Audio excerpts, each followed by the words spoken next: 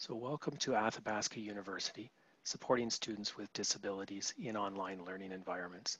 This webinar is being hosted by the Network of Assistive Technologists on this Friday, the 26th of June, 2020. And Athabasca University has been delivering education online for quite some time, always exploring new ways to support students who are eligible for accommodations. Of note, 2020 is their 50th anniversary, so congratulations to Athabasca University. And today we are joined by Lisa Boone and Samantha Thorburn from Athabasca to discuss the various ways that they provide services at a distance. They're going to discuss alternate format assistive technology assessment and training, as well as exam delivery and how they responded to the current pandemic situation specifically with modifications to the, to the delivery of services that would typically require in-person support, such as accommodated exam invigilation. So I now hand the presentation over to uh, Lisa and Samantha as they start their screen sharing and bring us today's presentation.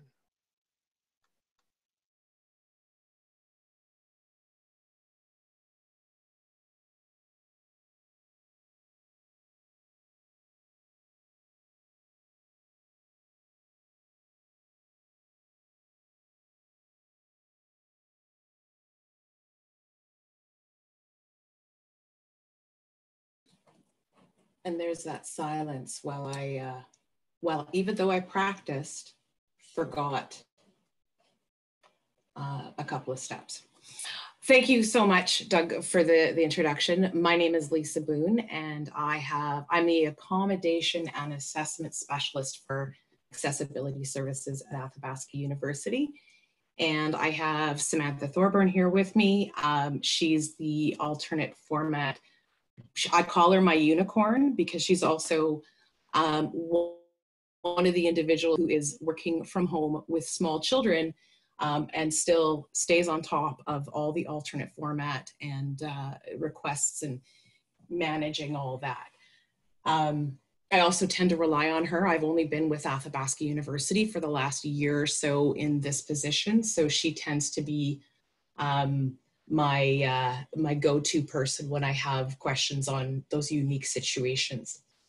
So what I'd like to start with first is just kind of a bit of an introduction about Athabasca University and the, the history behind um, AU.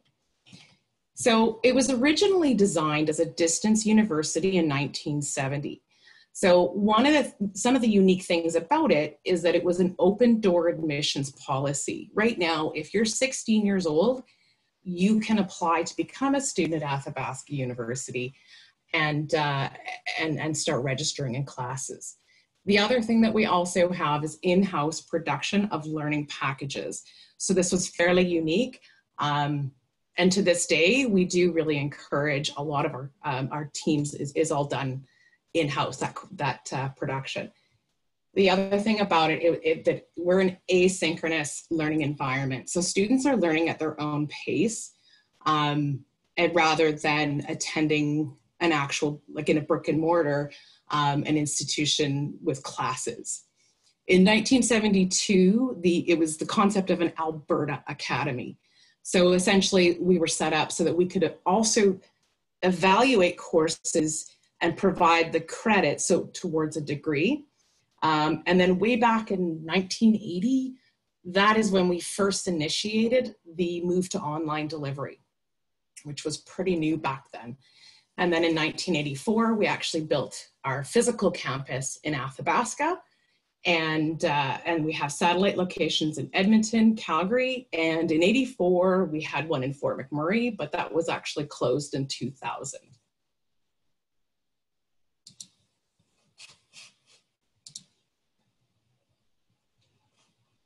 Okay, and so uh, quickly, we are fully accredited and, and, a publicly funded institution through the province of Alberta. We are also a comprehensive academic and research university. We are also accredited with the United States uh, in, on higher education of the Middle States Commission. And then over 350 collaborative agreements with institutions across Canada and internationally.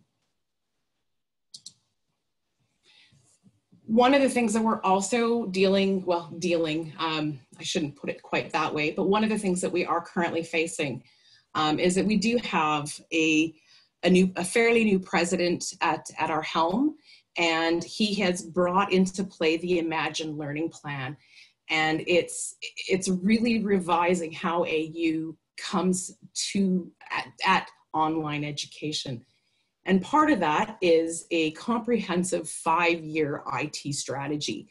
So not only are we dealing with COVID changes and the restrictions and how it's impacted our students, but we're also undergoing a massive change in our integrated learning environment, our student record keeping. Um, and so that's, uh, that's fun in any given situation, but in the middle of COVID, it makes it particularly um, there's it presents some challenges. So a couple of things, a few things about AU that's a little bit different um, that I thought I'd put up here. Um, just because I know when I started with Athabasca University it was sometimes hard to wrap my own head around. Um, like I would mention before, we are asynchronous learning environment, so course content is posted and students work through it. When it is a non-funded student, they, uh, they have a six month term. The other thing that we, we also offer is a rolling enrollment. So there's no semesters or terms. Um, as long as you register by the 10th of the previous month, you start in the next month. So if, if you register by May 10th, you're in the June classes.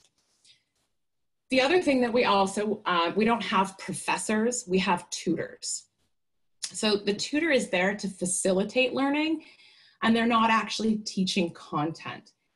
And so then tutors are assigned blocks of students, and then are, the students um, are provided with their tutor, uh, their virtual hours. And a lot of this communication is usually done via uh, online forums or by email. And then we have a course coordinator who is the person who's responsible for that particular course. Um, they're the ones who design it, um, they oversee it and uh, as well as oversee the course tutors. So with regards to AU students, um, we have over 40,000 students, um, approximately 7,800 full-time uh, equivalent, um, over 850 and 55 plus undergrad programs in arts, science, and professional disciplines. Um, we really have students across Canada. I know I have worked um, with students in, in our own department literally across Canada and, and I, can, I can think of off the top of my head about six other countries. Um, and then the average undergrad is 27, average grad is 35.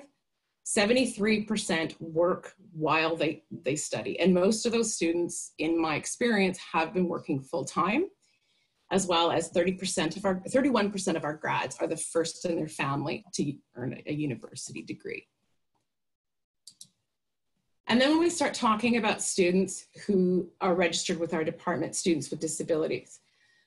So Athabasca University has the highest number of students with a very verified disability, we also have the highest number of students with a dual diagnosis. Right now, we have approximately 6,000 students registered with accessibility services, and we have seen an increase of 6.9% from last year. And I just heard some numbers um, just recently that our overall, with COVID, our overall um, registration has increased. One of the things that we often find is that the very structure of how we deliver education at Athabasca University is considered an accommodation for many individuals, especially those with ongoing medical uh, challenges where that requires a lot of um, doctor visits or they're hospitalized. Um, this, this allows them to work at their own pace um, as, again with medical conditions where they have really good days and really bad days. On good days, I have a lot of students who just pound through their work. And then on days where they're not able to, that's when they kind of set back and rest.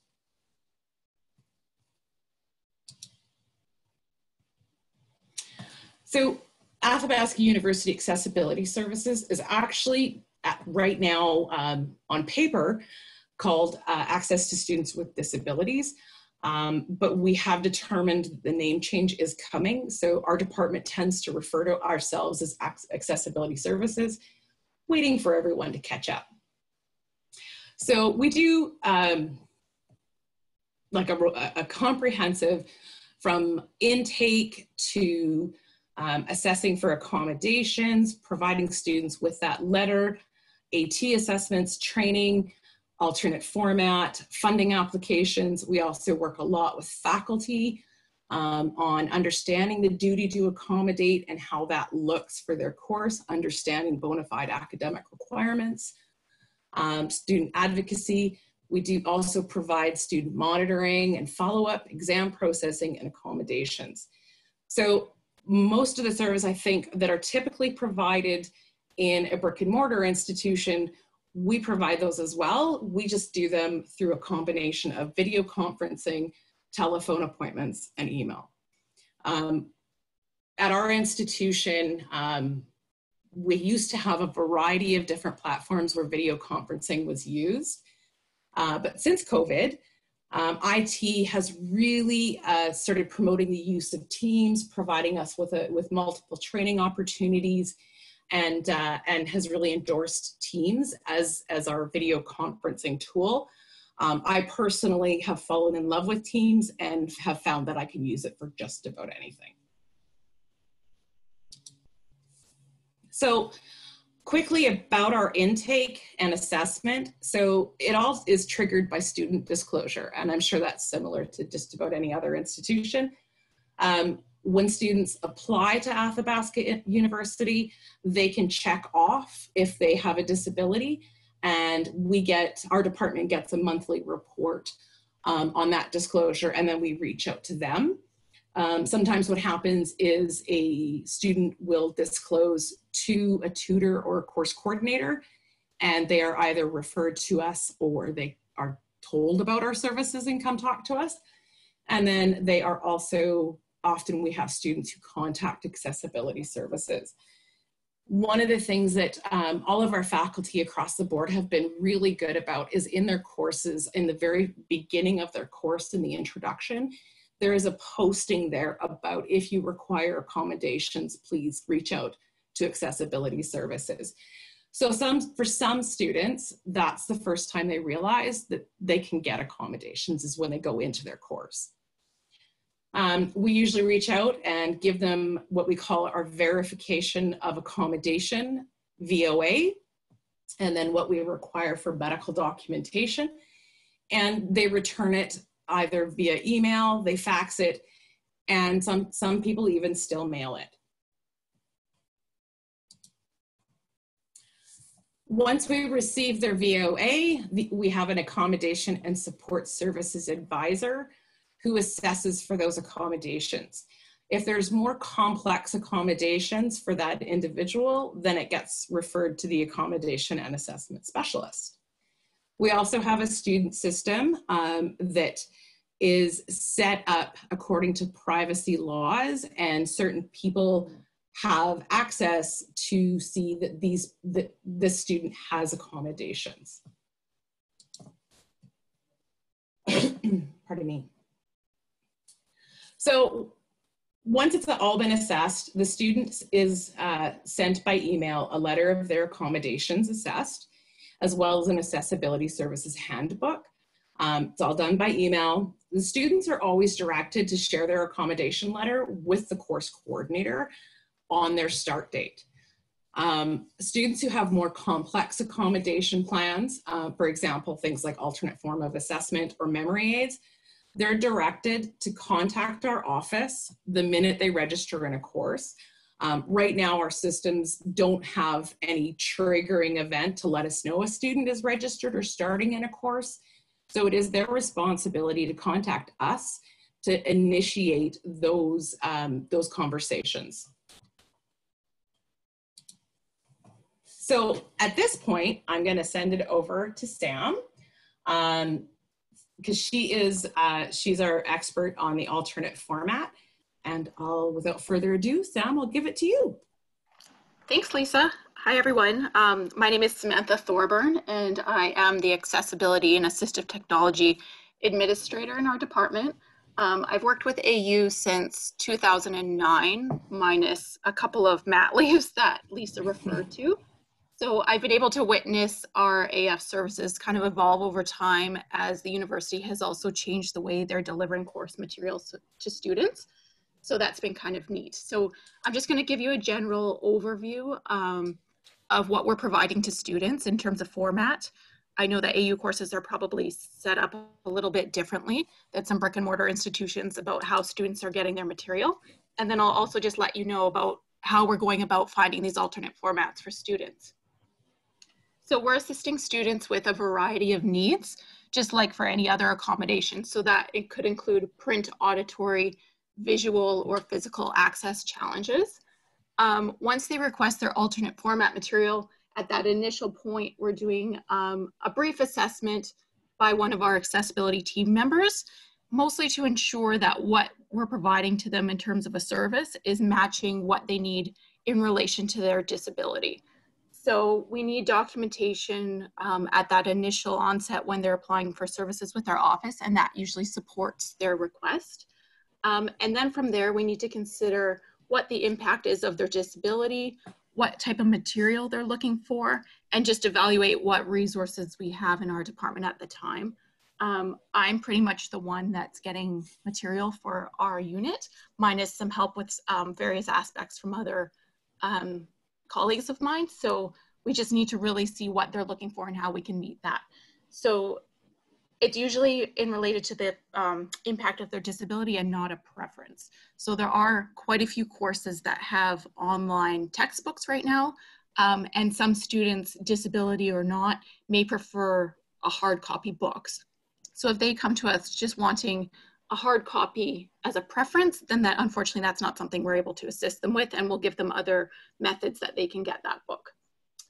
Um, at AU, there's a combination of both textbooks and AU produced content. So that can include study guides, course manuals, assignment manuals. It can be online reading such as articles. Some courses have a mixture of hard copy materials. So students are shipped a course package at the beginning of their course that might still contain print hard copy textbooks. Um, and then a, and then other online material. And some courses are completely online. So they have an electronic textbook and then other online material to supplement that. And the last thing there I was going to also say is that we don't usually um, assist students with their supplemental material. So if they need to find a whole bunch of research articles and it's up to them to find it we're not. We just don't have the resources usually to assist them with that. But if it's related to something required for their course such as assignment and it's not accessible then of course we'll jump in to help them out. And just to interrupt there, Sam, one of the other things that we often do is assist them in tracking down funding um, to purchase their own OCR software because um, we actually read into this last um, in the last year where we had a student who there was a lot of supplemental readings and then he would only realize afterwards and he would submit his request and sam wanted to provide it to him in a timely format. So then we ended up finding um, some resources for him to be able to purchase kurzweil 1000 um, so that he didn't have to wait for us to, to convert it yeah, thanks, Lisa. That's a good point. Okay, so I'm just going to um, go over the types of material that we usually provide to students. Our two main formats would be an electronic copy of print material and sometimes even an, electronic copy of material that's already delivered online. So a lot of the AU courses use um, electronic books in a platform called VitalSource. Um, for some students, it's great, it allows them to highlight. Other students, it doesn't work so well with their assistive technology or however they're trying to study with it. Um, there are sometimes some barriers on how much you can print. So if you have some students that want to print out sections, they run into some troubles with those e-texts. So um, we're there to provide e-text for students that need it. On the flip side, we have quite a few students that also require hard copy material. So they're not able to use the online material. So we're assisting them, them with that. Uh, we do provide uh, Braille services. I can't remember an instance where we had to Braille an entire textbook, but we do have students that utilize uh, e-text that we send out to a transcriber. We'll send them the textbook. The transcriber will make um, an e-text, usually in Word with producer's notes, and then they supplement Braille and tactile graphics um, where they aren't able to describe that in the text. And then we can print out that Braille and graphics for the student. Um, we also do produce some Kurzweil uh, files for students. So if they don't have funding, the resources we have would allow us to send them just some unzoned CASI files. So at least we're uh, saving them in the format they need. However, we do have some students that have received funding for CASI files. So I can go in there, zone them properly, make sure it's going to read it aloud correctly, and we can send them that. Um, for any AU produced multimedia material, um, we need to ensure that we're giving them text transcription. So that may be working with our course production departments or the course coordinator. And then we haven't had too many of these, but um, again, for AU produced material, if we need to assist with an alternate layout, so color or spacing, font size, etc., then we can assist students with that.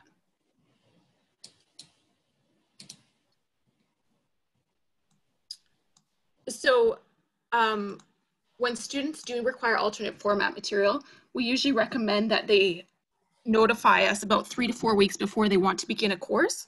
This is to ensure that we have enough time to get the material that we need from publishers or printed out. If they need a complex format such as Braille, we're usually telling them they need about eight weeks. Um, it doesn't mean they can't request material mid-course, but we just give them that caveat that it might take a few weeks, so they may have to um, get by with what they have or wait a little bit. So we're really encouraging them to try to do it before their course begins. Um, sometimes we need to provide a similar alternative to what they request. So a good example of this is we do have quite a number of students who want audio produced files of their textbooks or online material. Um, when I started, we had enough resources to do that for the students, but now we've grown so big that we just don't have enough to do that. So our workaround is often to provide them with an e-text and we have a site license for read and write. So they can load that e-text or PDF file into their read and write program. And that seems to be a good solution for a lot of our students. Um, Lisa was talking about funding a little bit there, but we do provide it on a cost recovery basis when we can. So we're not telling students that they need funding in order to access our services. However, when we have the opportunity to apply for that, um, we submit it on their application or we also submit for equipment so that they can apply for a printer or other assistive technology to do some of this work on their own.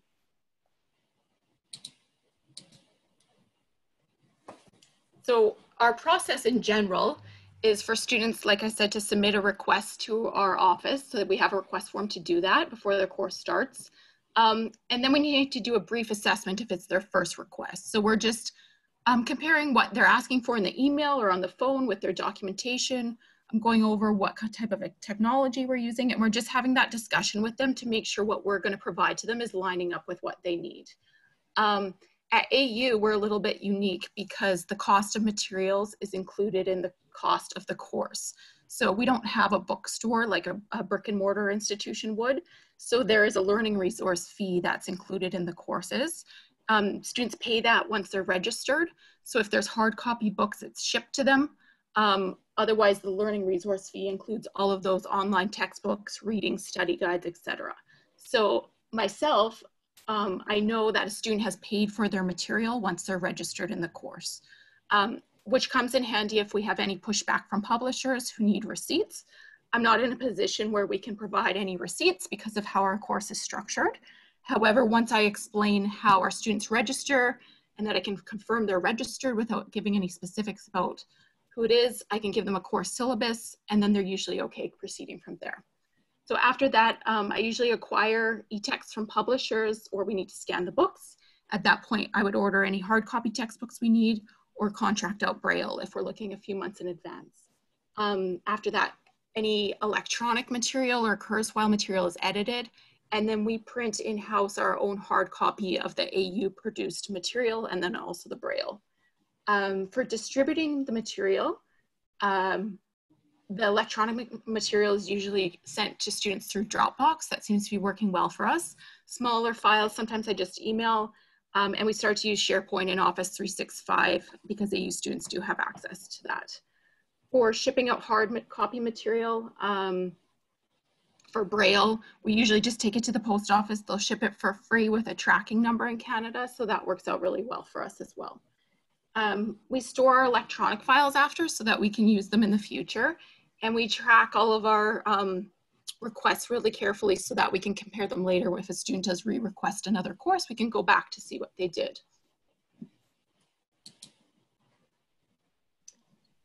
So now I'm just gonna talk about where we get our material. So for students that need electronic material, if they need a textbook, I'm typically requesting these files from the publishers first.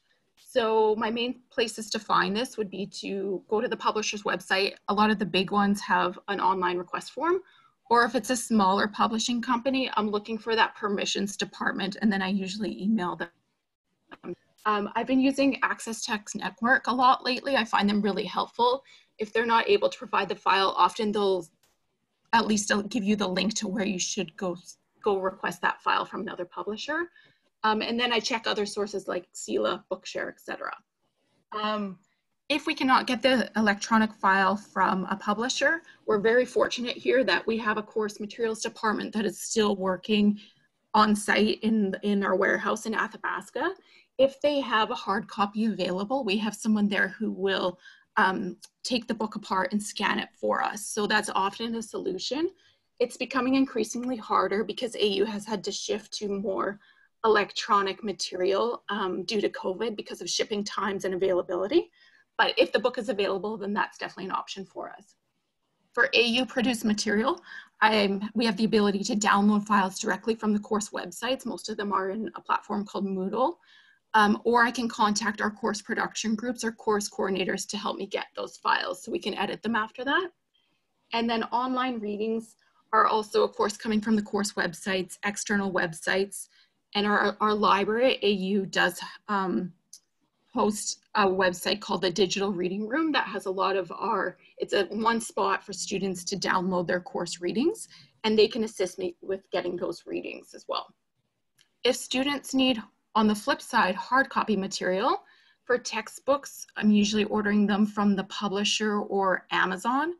Um, occasionally we'll run out, run into a book that's out of print and so we're looking at used copies and students seem to be fine with that when they're looking for a hard copy. We just let them know that it's used and try to search for one in good condition.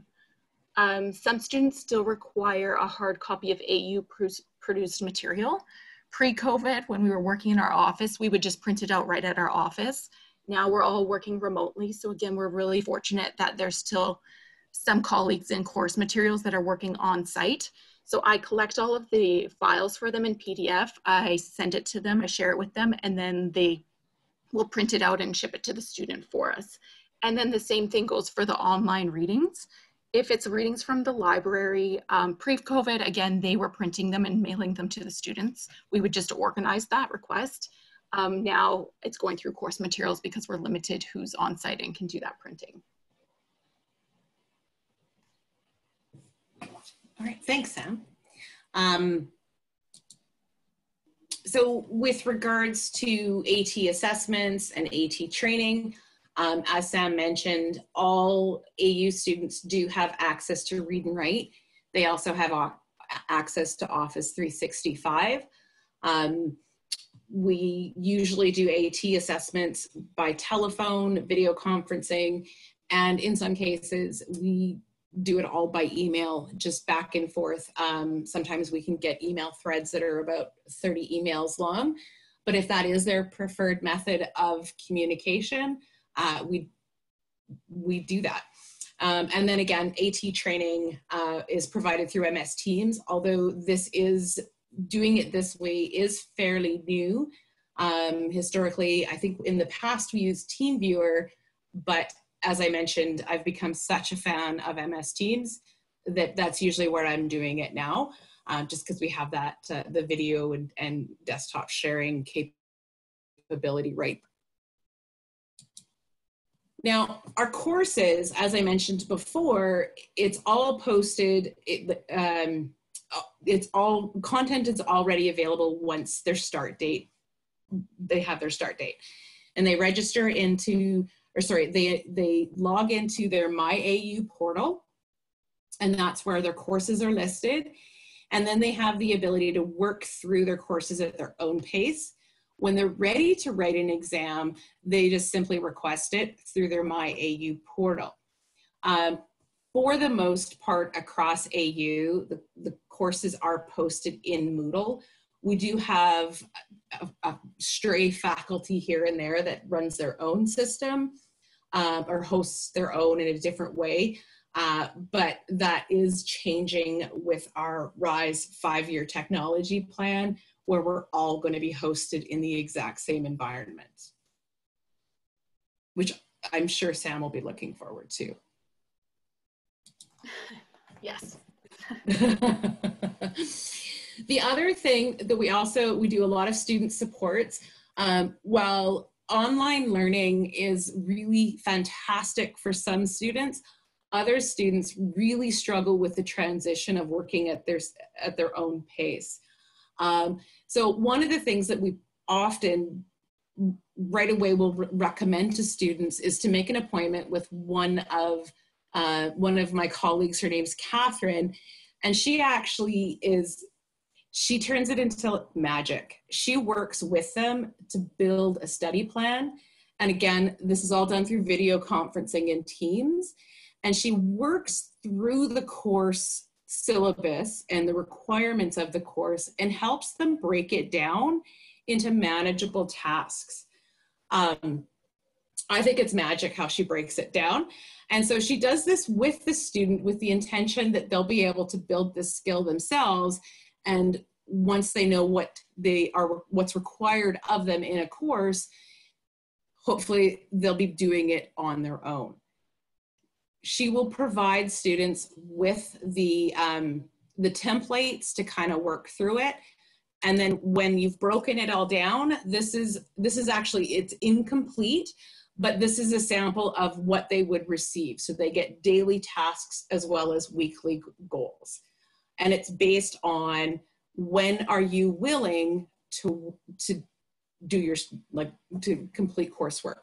Um, so for example, you see here, they've got flex days or days off.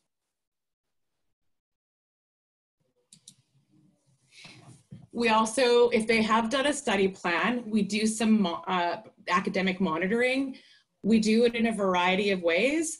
Um, again, just as a Teams fan, I have created some teams with some students and they will actually post what they've done according to their study plan to show me this. With this particular student, um, she felt that actually giving me all this information really held her accountable.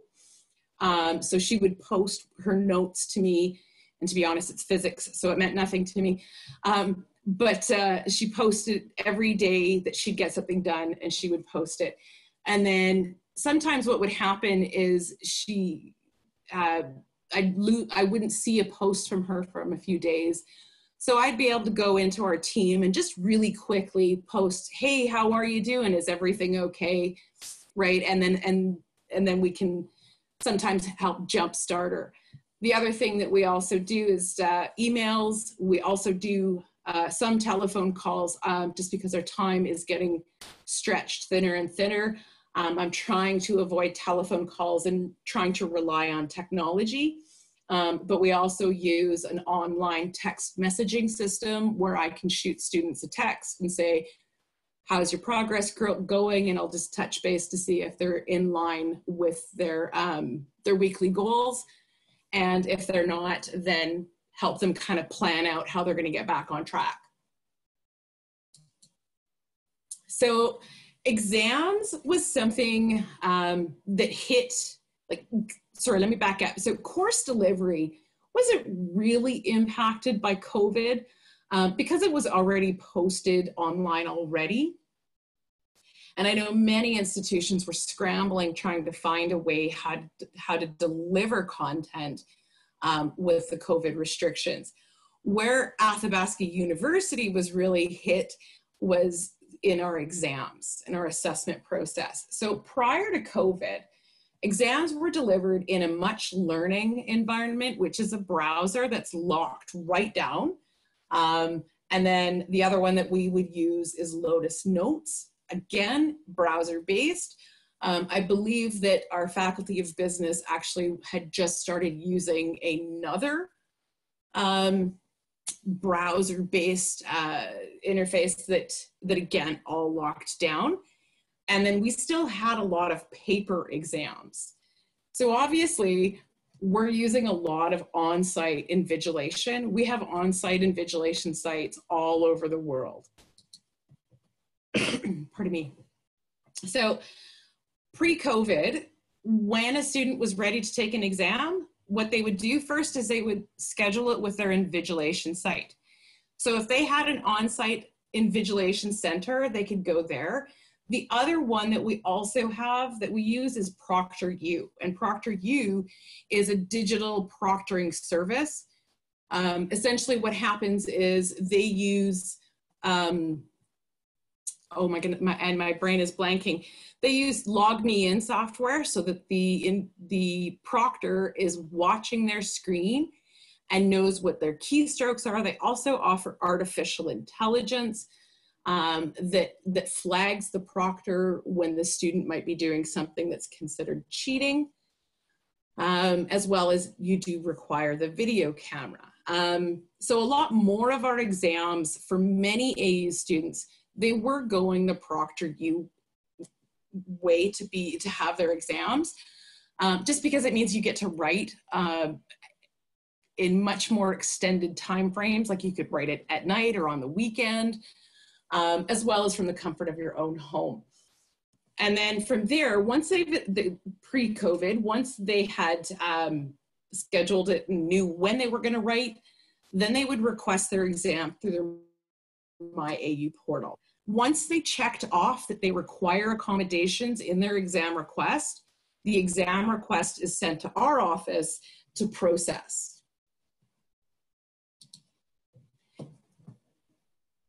pardon me.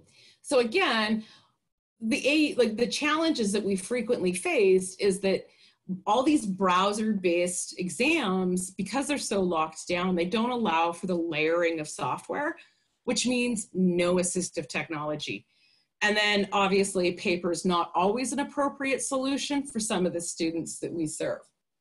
So our, our, our, our fallback solution was on-site invigilation because then we could get the exam to the student in Word format or, or whatever um, in order so that, they, so that they could take their exam.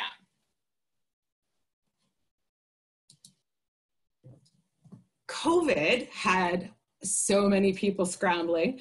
Um, so the courses, particularly in math, because so many of the browser-based exams um, they couldn't do symbols, and that's why we were relying on paper exams. So, for example, our, our math courses were all scrambling because we could no longer assess student learning with a paper exam. So a lot of the student or a lot of the, the course coordinators then developed um, a combination of a take-home exam um, as well as uh, a video conference with the student. And the student was was arranging those directly with their tutors. One thing that came out um, uh, for us to, that we learned with COVID, uh, particularly around the math courses and paper exams, is that we have a far higher number of students uh, with autism that are attending AU as an accommodation because there's limited social interaction when you attend AU. And now all of a sudden, um, they have to uh, video conference and uh, and so we had an influx of, of student registrations um, because an accommodation they never needed before um, was was something that uh, that they they needed to start arranging. So now with COVID, we have started relying entirely on ProctorU as our invigilation or, or for proctoring the exams. So now when a student is ready to take their exam, they, they request it through their MyAU portal. They'll check off that they require accommodations. Again, it's still sent to us. And if those accommodations are available in Proctor U, then they can go ahead and schedule with Proctor U. If we cannot provide the accommodations for students um, in our, uh, because those browsers are so locked down and they don't allow for the layering of technology, for example, um, we will reach out to the, the student and say, you're like you're, you're, we're, we're not able to provide you this exam with ProctorU um, because we can't provide those accommodations. And then I'll work with the student and the course coordinator to find a different way to, to deliver the exam. And what it's really boiled down to is to try to figure out what, what the course coordinator is often worried about. So it, for example, um, with because we're asynchronous, we could have hundreds of students at any given time in a month writing the same exam. So we don't have those big bulk writing, uh, like you wouldn't have 200 students writing on a certain date. So a lot of course coordinators were extremely concerned about the security of exams. So one of the things that we started doing is we had developed a SharePoint site and what we would do is we would, at the time of the exam, um, one of the ASD exam or the accessibility services exams persons would um, share a folder and a file with them in OneDrive at the time of the exam. Then what would happen is they would log on together, like I, I hope you can see this picture. Um, so this is just a, a mock um, document. And what you see is you'll actually, when you're logged in together, you'll see the cursor of the student and you'll also see their avatar that they are logged in. Um, if they're a sighted individual, you could use the comment box. Um, this has been used um, with a number of our partially sighted and blind students because it works very well with screen readers. um, I actually had one uh, voiceover student who was pleasantly surprised at how easy it was because in her experience, Microsoft Word wasn't as accessible um, as they claim. So um, sometimes what'll happen with a partially sighted or blind student is I'll just tell them they can write because we're keeping an eye on this. So we're seeing them go through the exam and we're making sure by watching it that they're only working in it in the online window. Um, and then at the end of it, they would tell us at the very bottom, they would just write in there, hey, Lisa, I'm done. And then I would tell them to log out. I'd watch them log out by leaving here. Um, and then um, I would unshare the folder and then forward along to the marker. The other thing that we ran into that security and invigilation was a requirement. Then we started invigilating in-house. Um, this is something that's fairly new, like in the last week and a half. Um, so what we started doing is we create a, a Microsoft Teams class. And then at the time of writing, we can upload the exam and then we can share um, or we can start the, a video conference with the student and they could load the file right there on the screen. And because we have video, I can watch them while they're writing. So it's all hosted in here in the Word, or sorry, it's all hosted in the Teams environment and I can watch them at the same time as long as they're sharing their screen with me. But then we came to Kurzweil. We have a number of students who are using Co 3000 as an accommodation. And unfortunately, the web tool does not work in where we couldn't get it to work. So if somebody else has, you know, some insight to why that happened, I'd love to hear it. But we couldn't get it to work properly in the Word Online environment. So that's when we started tapping into Kurzweil 3000 and it was tested and it's going to be used next week for the first time. We've been on steep learning curves. so what we do is we just have some generic exam accounts um, that, and we'll use the universal library. At the time of the exam, it'll be, or shortly before the exam, it'll be uploaded into that folder. And then once we start our Teams video conference, that's when I'll share the login and the password uh, with the students so I can watch them log into their exam. So this is just using Teams as the video conferencing um, and then um, watching them take it. I'm not seeing, uh, I'm seeing their screen, I'm not seeing their environment. So there is situations where we're, we're acting in good faith. Uh, personally, I'm a big fan of that. Um, but sometimes it does take a little bit of a conversation um, with course coordinators to explain that it's not going to be absolutely guaranteed. They may have like a notepad beside them with, with some information. Um, my experience has been um, almost across the board that most of the students I'm working with, they're just grateful to be able to use their accommodations. Um, to be successful, I've not had a lot of experience with cheating. Um, definitely not. Um, and that's so like we did some juggling, but we're just we're always trying to find ways um, and figure and figure it out. We are hoping what we are doing is we do have a consultant coming in who's building a little bit more sophisticated of a SharePoint site for us. Um, because the one that we're currently using is one that I had built while learning SharePoint. Um, so we're hoping to get this consultant to build us a SharePoint site and it will do a lot of, it'll access a lot of the workflows and automate the process of placing an exam in there. And then we can start using ProctorU as well.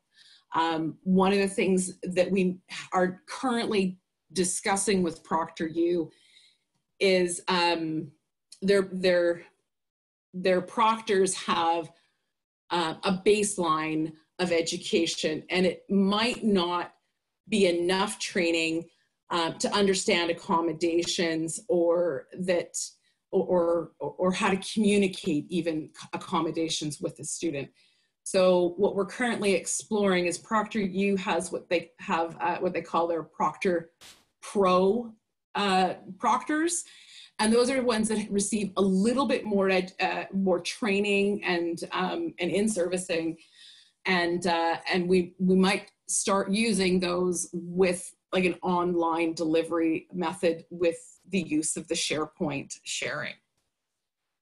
And that is pretty much um, the end of, of what we had to talk about. So I'd like to open it, before I open it up to questions, um, one thing, if you want more information about Athabasca University, um, athabascau.ca. And then there's also our website, asd.athabascau.ca. And then, of course, if you have any questions, please drop us an email. We're all working remotely, so we're not available by phone right now, but please feel free to contact Sam um, Carrie Anton is also the Accessibility Services Coordinator.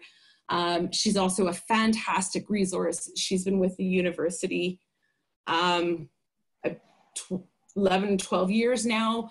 Um, so, and she's also really involved in our integrated learning environment transition. Um, and then you only get to contact me if you can read the small font.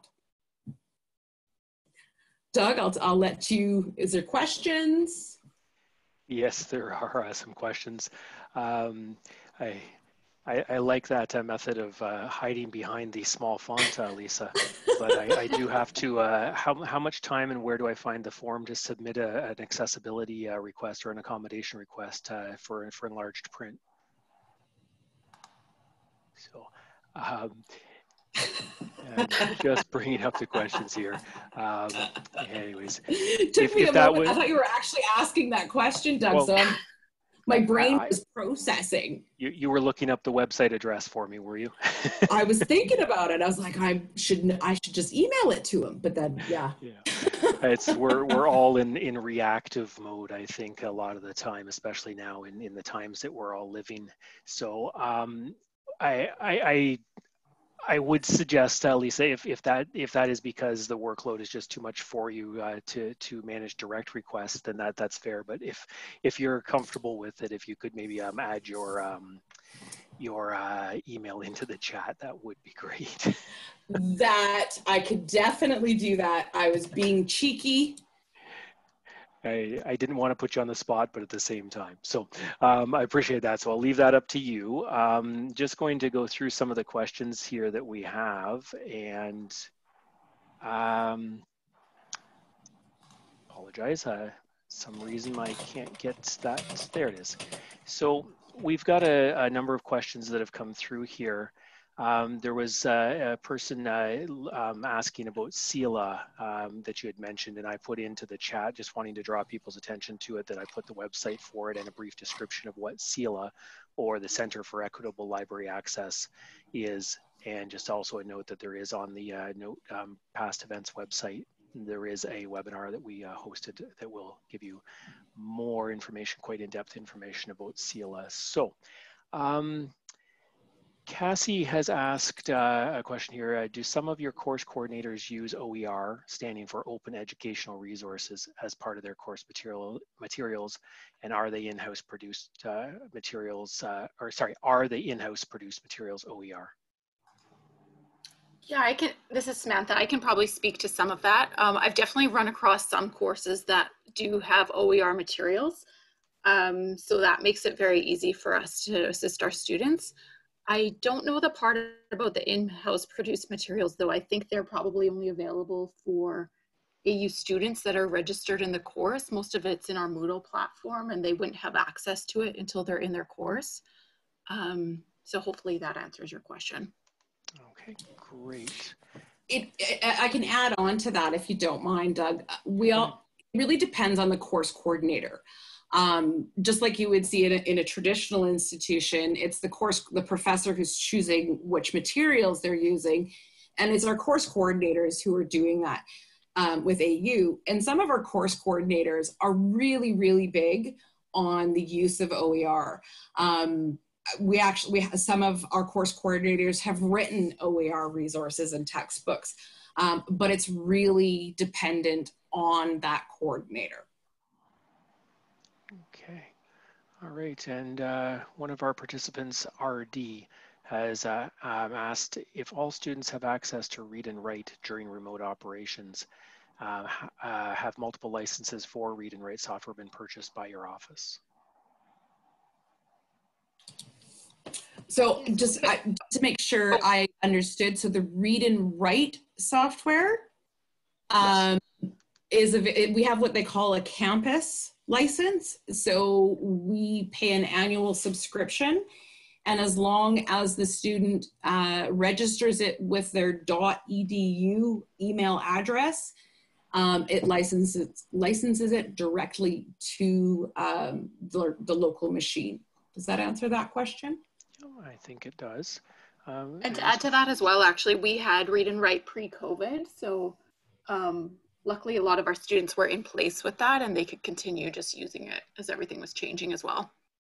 Okay, great. And just before we continue with any of the questions from the chat, I just remind people to add their question into the chat or feel free to unmute their microphone and we'll uh, include them to be able to ask uh, their questions live. So if I do see anybody unmuting their microphone, um, I'll be happy to, uh, to call on you to, to, uh, to ask your questions. So um, so Nancy has uh, asked if you could give us the name of the text uh, software that you use to communicate with students.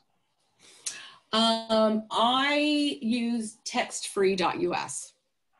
Okay, so textfree.us. Okay, perfect.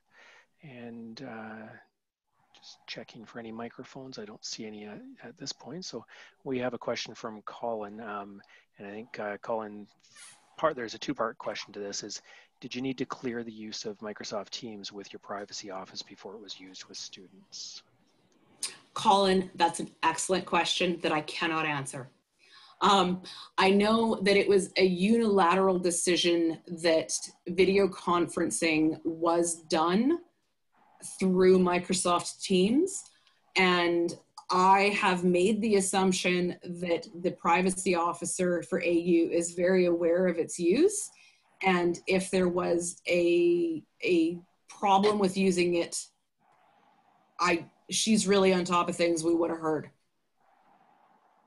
So ask forgiveness later. You know, I tend to live by that, yeah. It's the motto of assistive technology, I think. Um, the creative solutions we have to come up with to get to, to get us through the day. So, and the second part to Colin's question, um, and he thinks you answered it, but uh, just to clarify for people, because it was a question I had as well, and is uh, what uh, platform were you using for the exam bookings? So the bookings themselves is done through the MyAU portal, um, which is just the students' landing page. Um, and uh, well, he did mention, I think you answered my questions, but the actual exams are delivered in those three methods um, that didn't that were locked down browsers. Okay, perfect. All right, and that was the last question that I was uh, keeping track of in the, um, oh, I apologize. Uh, there was another question here from RD. Um, uh, how tedious or easy has it been to have staff members monitor students over Teams and SharePoint? considering the immediate uh, or the immense number of students registered with accessibility services? Depends on what kind of monitoring that you are referring to. Um, if you're talking about like progress checks, um, I, I, what I've, because the demand has increased significantly, um, I basically have a window of time that on Monday mornings, Wednesday mornings, and Friday mornings, students are made aware that that's what is um, that's when I'll do the progress checks and I can't do it outside of those times. Um, with regards to exam monitoring, the O365, O365 and like the alternative methods that we've been using, um, it's pretty much eaten up a full-time job. Um, and I keep threatening to start charging back faculty for every time they require um, invigilated exams. Okay, the way to pay the budget in one foul swoop. Uh, Colin has uh, unmuted and raised his hand, so Colin, go ahead. Oh, hi, Lisa. Uh, thank you for, for sharing everything um, today with us. Um, my question uh, is just really for clarification about the exam booking you did mention that bookings are done through my AU. Sounds to me like that's uh, a customized uh, platform that your institution has created, or is there something behind that? I mean, my AU is probably just a landing page uh, that students go to, but is there an actual software, or, or, or is the MyAU the, the software that's used? So it is there the secured website. So it is been built specifically um, for students of AU. Um, I don't know what back ends it.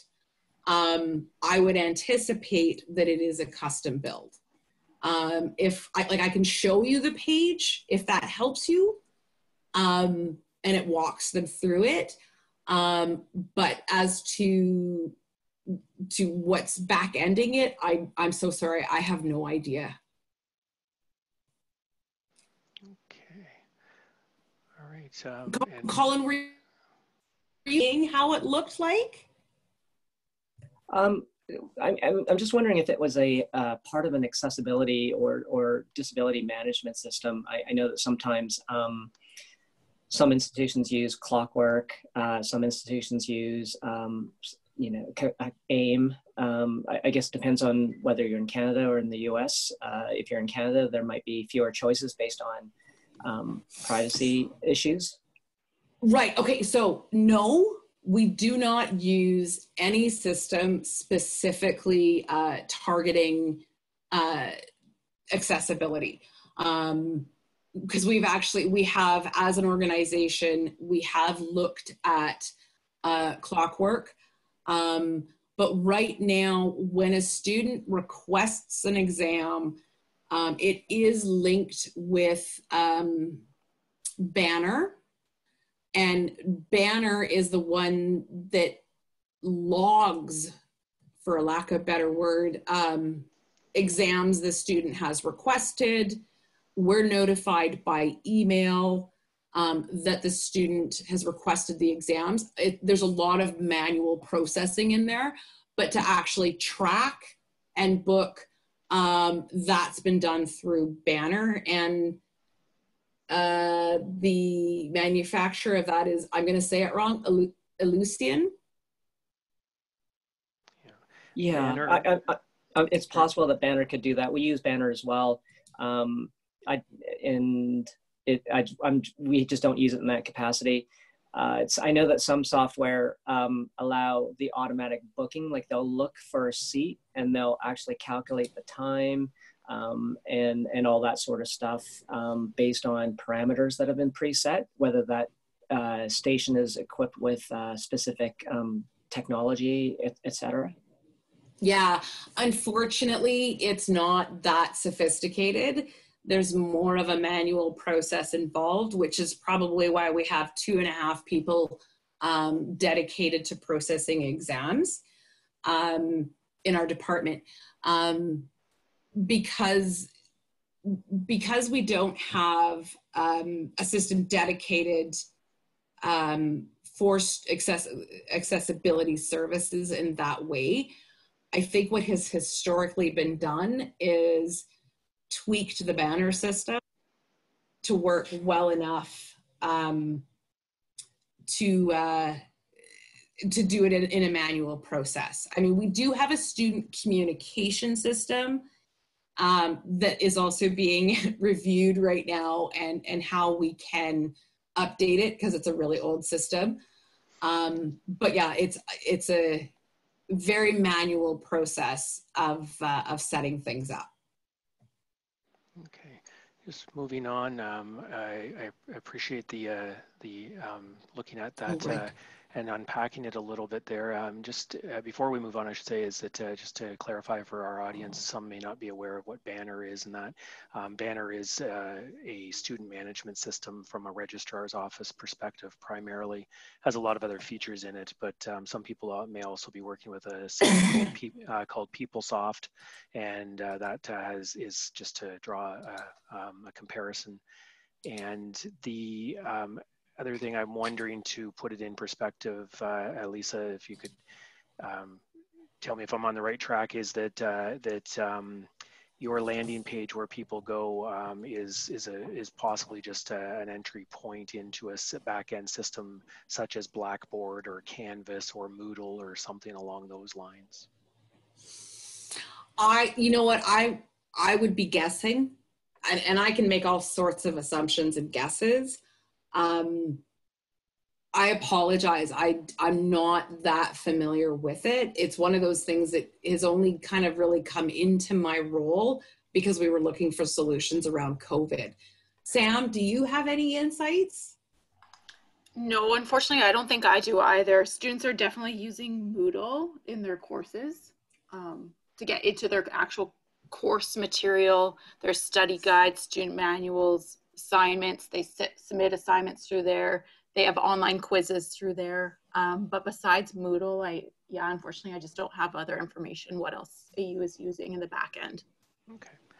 All right, so the mystery uh, remains, um, and uh, so um, I just we do have one last question uh, in the chat. If anybody else has anything, uh, we're just we are past time just a little bit, but if there's any other final questions, please enter them into the chat, or again, if uh, we see the microphone unmuted, we'll uh, call on you.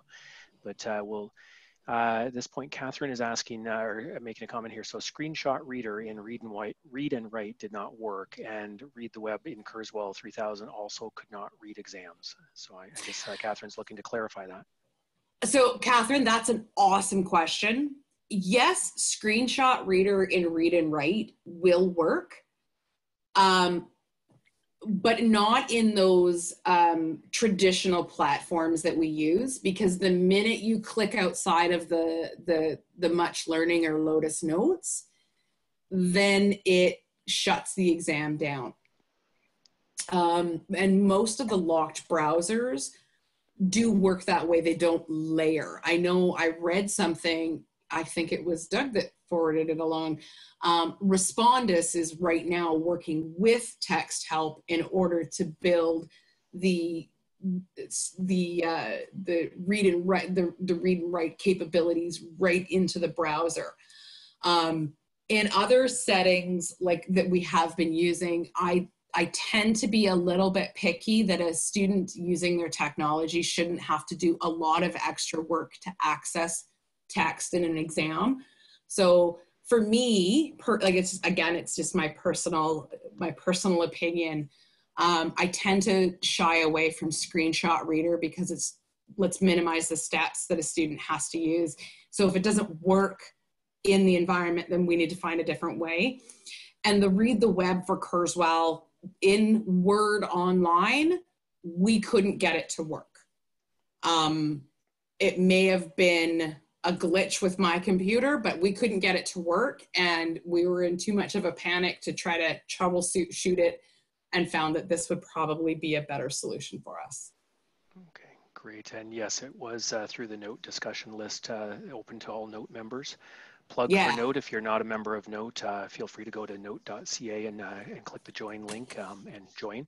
It was through our NOAT to, or through our discussion list that that came uh, that information came out from one of our members, and I have had a conversation with Matt Brown, uh, one of the uh, representatives uh, for for Texthelp, and he's enlightened me as to some of the background technical workings that need to take place for that to actually materialize and that his uh, development team is is definitely working hard on the uh, the Respondus integration um, and it will arrive when it arrives quicker than or not as quick as we all want it to. So yeah. um, just not I'm not seeing any other microphones unmuted so the last chance for that as I uh, um, present our last question here uh, and uh, from Colin.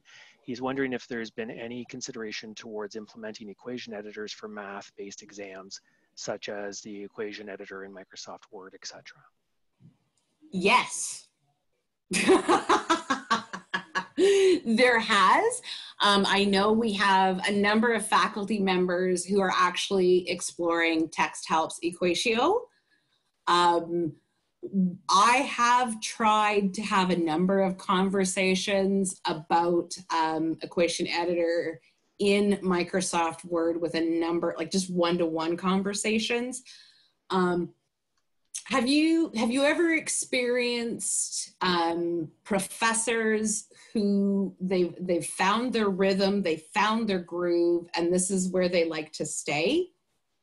Um, in the in the, the conversations I've started having more and more these days, um, there's there's some reluctance um, to really examine it and, and see if it is a, um, a, a quality solution. And I run away from math, so I need their expertise to tell me if it is sufficient. Okay. So, and, and none of us have ever experienced any of those kind of professors. Um, and in the real unique world, to AU. Yes, absolutely and uh, every, in, in the real world everything always adds up and it will average out somewhere down the line. But um, as i was also told by a very astute professor one time is that 98.3% of statistics are made up 23.2% of the time So um, I don't see any uh, other questions having come into the chat and I'm not seeing any other microphones unmuted. So at this point, I think what we will do is we will uh, uh, wrap up and uh, Lisa and Samantha, I, I, I, just would like to thank you for sharing all of this information with us today. Um, I would, I, I don't know how to summarize this other than it's fantastic. You can see the thank yous coming in in the chat here as well um, the fact that you guys have taken and pivoted um, and repivoted and probably repivoting as we speak. Um, you probably don't want to check your inbox and voicemail once this webinar is done. Um, and we so very much appreciate the fact that both of you have found the time in your schedules um, to be able to to uh, share this information with you. And um, there's been a, quite a lot of interesting things that you've uh, you've raised that might lead to some other webinars if I can uh, twist some arms in your department. So um, warn well, warn them so uh, to warn them to block my email address when you get when you get off this webinar. So. Oh, sounds good. Well, thank you so much for inviting us. Um, it, uh, I wish we could have done it sooner. Um, but yeah, like, like everybody, right, adapting to COVID has significantly um, increased a lot of our workload. So I do thank you so much for your patience in, in, in getting us once you extended the invitation and a huge thank you to all the participants. Thanks for, uh, thanks for listening. Perfect. And yes, thank you finish. very much. Yes, we'll just finish up here with uh, just a, a, an answer to RD in the chat has asked if the video is going to be shared later, and yes, a per, replay uh, will be posted. So, so again, uh, thank you, uh, Lisa and Samantha, for sharing your support of the assistive technology profession, plus the, the network of assistive technologists. It's greatly appreciated.